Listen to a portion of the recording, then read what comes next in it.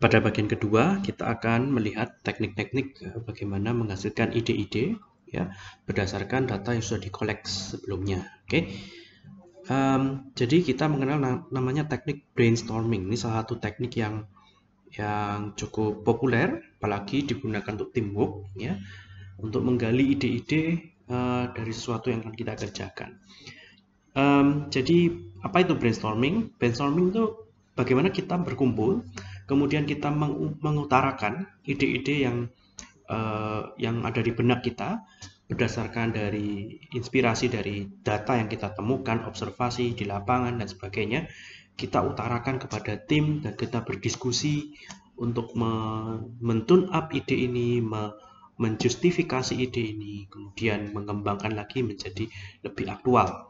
Di dalam tahap brainstorming yang paling penting adalah quantity, not quality. Jadi semakin banyak ide yang diutarakan ya, semakin baik, baik ya. Jadi tahap brainstorming merupakan tahap di mana kita memunculkan semua ide-ide uh, yang ada di benak kita, seluruh anggota tim berpartisipasi. Oke, jadi tidak perlu dilihat uh, seberapa baiknya, seberapa visiblenya ide tersebut. Yang penting kuantitas ya, banyak uh, banyak ide ditelurkan. Divert judgment artinya adalah uh, untuk menilai apakah ide ini visible, apakah ide ini uh, memungkinkan untuk dikerjakan atau apakah ide ini bakal sukses, bakal berkualitas itu nanti aja. Ya, buang-buang jauh-jauh, jangan menjudge sebuah ide dulu. Karena apa? Kadang-kadang ada sebuah ide ya yang terlihat bodoh, terlihat stupid, tapi bisa jadi sangat sukses. Kita tidak tahu uh, apa namanya, apa yang terjadi ya Nah, seperti itu. Jadi ada beberapa ide yang yang yang sangat brilian gitu ya. Kelihatannya stupid, tapi kenyataannya dapatkan banyak apresiasi dan bisa mendapatkan uang banyak. Saya kasih contoh ya. Um, The Million Dollar Homepage. Ini Anda bisa coba buka di milliondollarhomepage.com. Ini Alex Tew tahun 2015 kebingungan untuk bayar uang kuliah ya dia. Kemudian bagaimana cara dia dapetin duit uang banyak? Apa yang dilakukan? uh, si Alex Teo ini membeli domain, membeli website atau purchase hosting dan domain yang nilainya cuma 10 USD. Kemudian dia bikin satu halaman website, lalu dia jual satu halaman website ini dengan nilai satu pixelnya itu satu USD dengan minimum pembelian 10 kali 10 grid alias 100 dolar dan dia membagi halaman ini menjadi 1000 kali 1000 grid. Jadi orang boleh beli terserah beli seberapa besarnya. Yang pasti satu USD per uh, pixel. Nah halamannya cuma satu dan anda kalau lihat ternyata ya dalam satu tahun Sitio ini berhasil menjual 1000 kali 1000 grid ini dan memperoleh satu million US dollar ya dari website yang dia punya ini uh, websitenya websitenya masih ada saat ini. Mungkin orang berpikir ini ide konyol gitu ya. Ide yang bodoh ide yang stupid. Tapi kenyataannya dari ide konyol juga bisa menghasilkan duit ya. Uang banyak seperti yang dilakukan oleh Alex Tew. Oke, jadi brainstorming intinya divert judgment ya. Yang penting ide masuk semua, kemudian didiskusikan, ditune up sampai kita punya uh, gambaran ya, gambaran mana yang akan kita pilih dari sekian banyak ide. Oke, teknik brainstorming itu ada macam-macam sebenarnya. Ini hanya saya tunjukkan beberapa, nanti Anda bisa browsing sendiri di internet, ada banyak sekali. Uh, yang paling populer adalah mind mapping ya. Jadi eh, kadang-kadang kita lebih suka berpikir secara visual ya. Jadi mind mapping ini menggambarkan ide kita menjadi pohon-pohon ide gitu ya. Kemudian kita membuat koneksi antara ide satu dengan detailnya dengan ide lain kita membuat koneksi membuat alur menggambarkan garis ya antara ide satu dengan ide lainnya sehingga terbentuk sebuah mind map ya. Berangkat dari satu dua tiga ide kemudian bisa berkembang berkembang dan seterusnya. Oke? Brain writing adalah uh, suatu teknik di mana kita menuliskan ide kita di secari kertas gitu ya.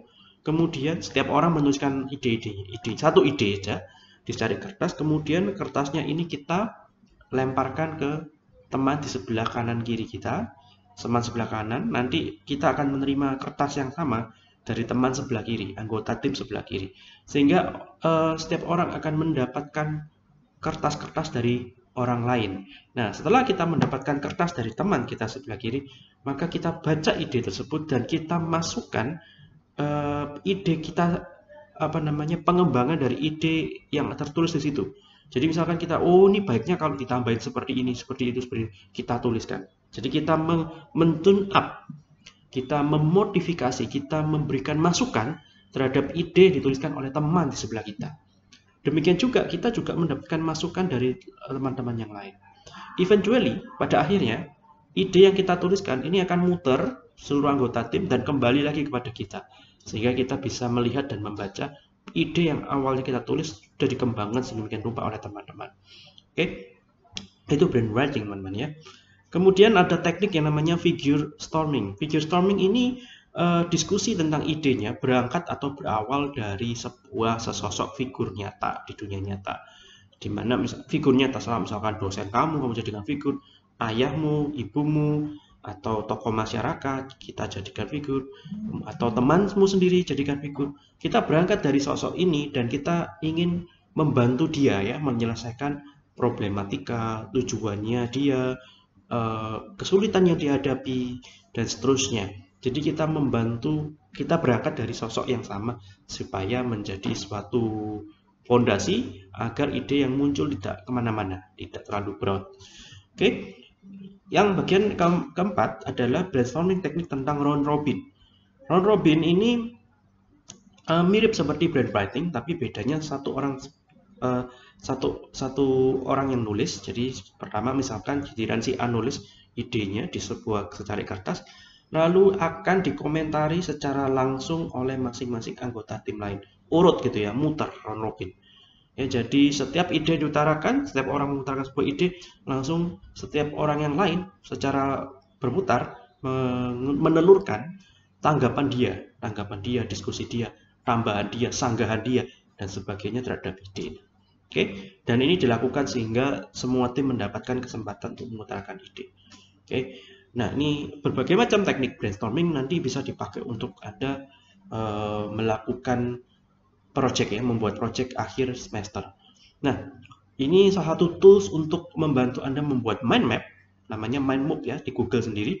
Ini kolaboratif mind map, artinya uh, kita bisa bersama-sama masuk ya secara kolaborasi membuat mind map ya menambahkan item di sana di sini menarik garis dan sebagainya oke ini adalah brand writing teknik ya ini contoh aja brand writing worksheet the local base ya base lokal uh, fokusnya ya, jadi ada satu goal yang ingin dicapai di brand writing adalah bagaimana kita bisa uh, membuat orang-orang tuh menggunakan aplikasi yang kita buat sehingga uh, menaikkan nilai lebih bagi penumpang ya.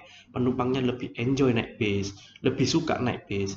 Kemudian app kita bisa membantu mereka lebih sering menggunakan transportasi umum uh, ini ya. Uh, dalam bentuk bis ini. Anda lihat ada tiga ide. Sebenarnya ada banyak ide. Misalkan tim Anda 10 orang, maka akan muncul 10 ide. Kalau Anda lihat uh, di ide yang pertama, redesign the icon to make it easier to find. Jadi icon-icon kemungkinan ini dimaksud icon ini adalah icon di app-nya ya. Redesign the icon to make it easier to find. Ini ide pertama. Kemudian ide ini dilemparkan ke teman sebelah sehingga mendapatkan berbagai masukan seperti ini.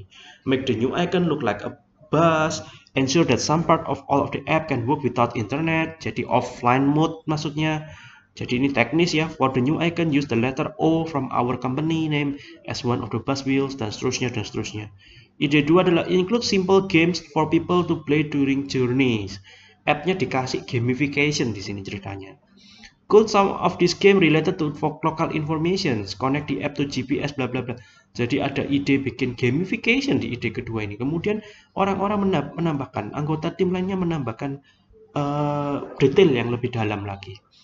Link the app to the traffic news to other to offer real-time travel advice dan ini Anda bisa dapatkan masukan dari berbagai macam ide dan dan tone up-nya, modifikasinya, sanggahan, uh, pelengkapan data dan sebagainya kita tentukan mana yang akan kita pakai nanti di akhir. Oke, tentu saja setiap ide punya visibility. Nah, baru baru dari uh, baru dari dari brainstorming ini baru kita tentukan ya kualitasnya. Mana yang visible, mana yang uh, approachable, mana yang masih dalam on budget kita.